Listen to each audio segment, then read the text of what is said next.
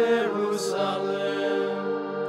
For behold, the Lord shall come, and in that day there shall be a great light, and the mountains shall bring forth sweetness, and the hills shall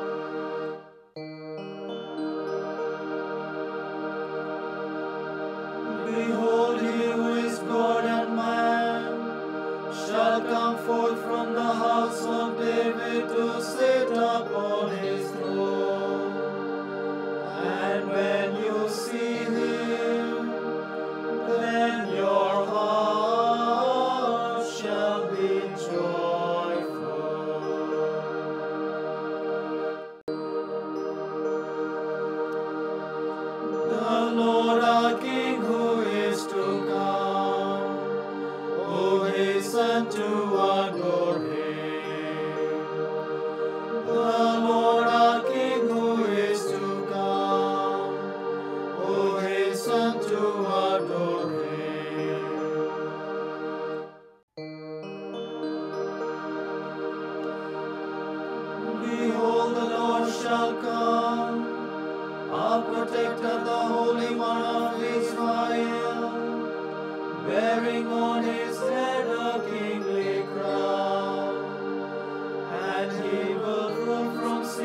sea, and from the river to the utmost bar.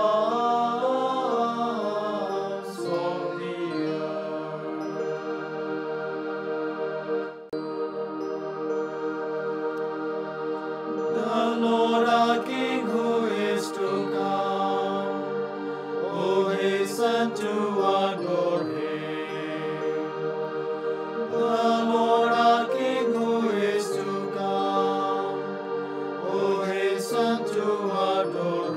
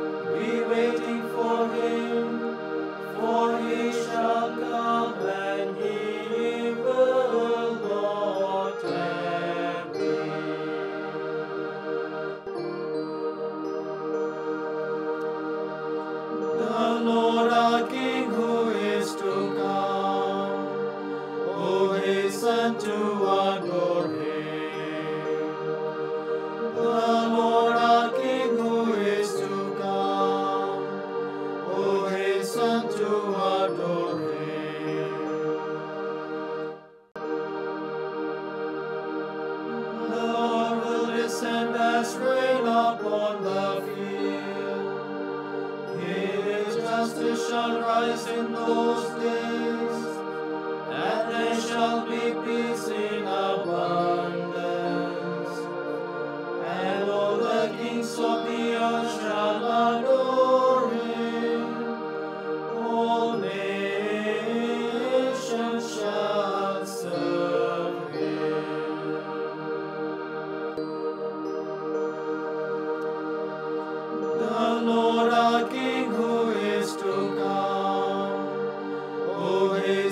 to one.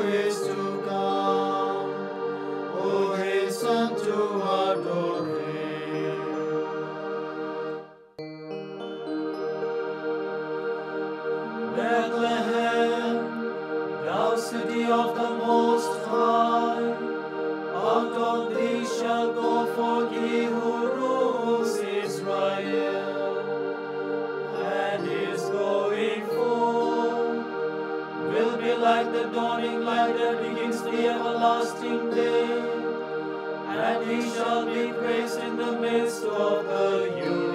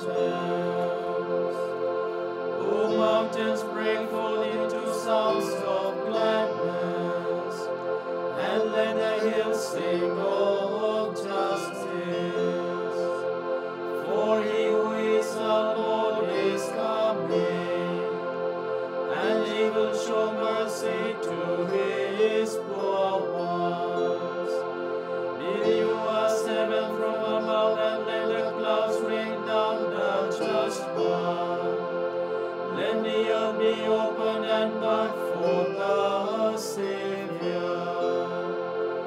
O Lord, keep us in remembrance and come to us bringing salvation.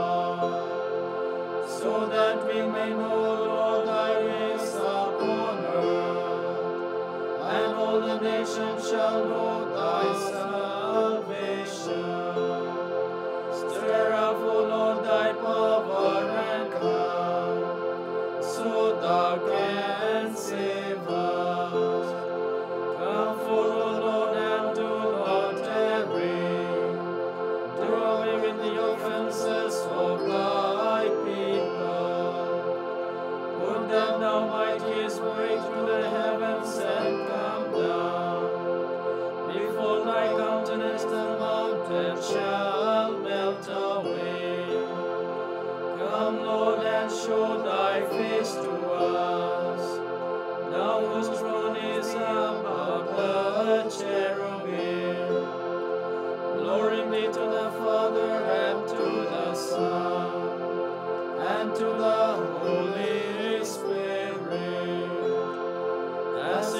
was in the beginning, is now, and ever shall be, world without end. Amen.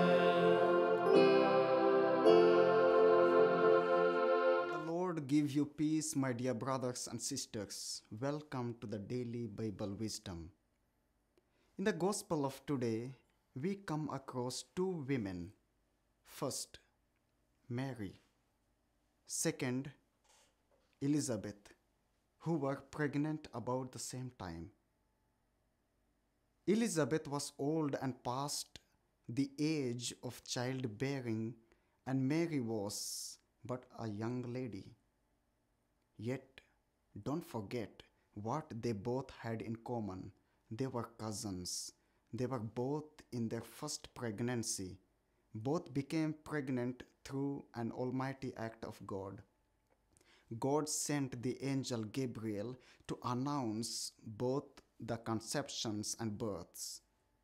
And they were both were given a child who played a key role in God's plan of salvation. Today I would like to reflect on three things on the gospel passage. First, a joyful leap. In this Christmas season, our hearts should leap with joy at the thought of the baby in Bethlehem's manger. This morning, we should feel the joy and celebration John the Baptist felt in his mother's womb. He felt this joy and celebration because what the prophets had foretold about was finally coming to fulfillment. We should all leap with joy because in this Christmas season we are reminded that all things are possible with God. Second, no jealousy. Here we see two women pregnancy about the same time with babies destined to do great things. But there was no rivalry, no sense of competition, no contest about how they had the best and greatest baby. Not only was there no competition between the two mothers, but there was no competition between their child as well. The Bible makes clear that John the Baptist was not the light. He came only as a witness to the light, who is Christ. That is why John said Jesus was more powerful. He said he was not worthy to untie the thong of Jesus' sandals. Third point, a step in faith. A final point I want you to look at is how Elizabeth praises Mary's faith, her belief. Just imagine, without any physical participation by a man, Mary was going to conceive and bear a son. Mary believed God would accomplish this. Mary believed the Creator Spirit was going to do this amazing work in her. What amazing faith! No wonder Elizabeth pronounced Mary to be blessed. We cannot be a disciple of the Lord unless we trust and obey Him. So let us become the Lord's disciple.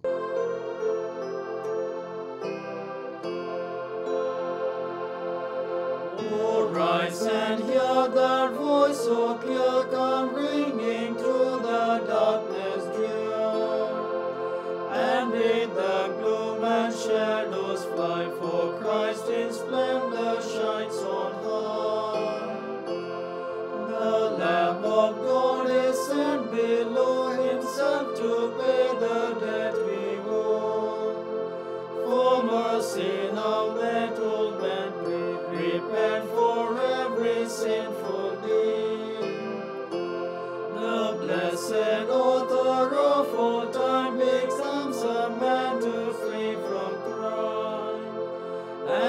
the souls that once he made in his own flesh a ransom paid. A mother filled with heaven's grace prepares for God a dwelling place, and in her womb fulfills the plan, the mystery of God made man. His home becomes a spotless breast, a temple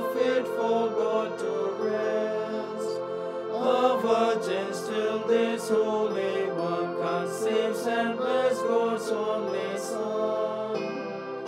To God the Father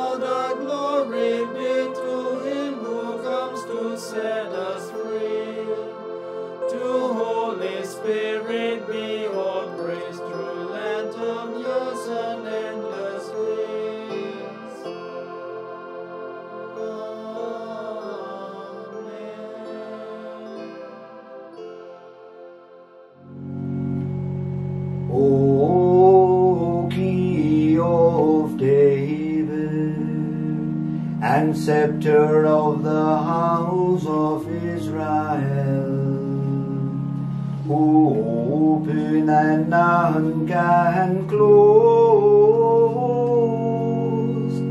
who close and none can open.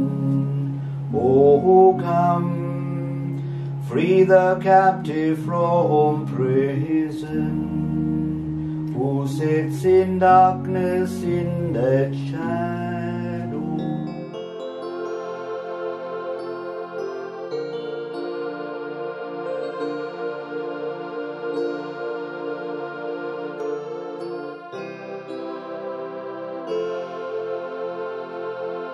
My soul proclaims the greatness of the Lord, and my spirit rejoices in God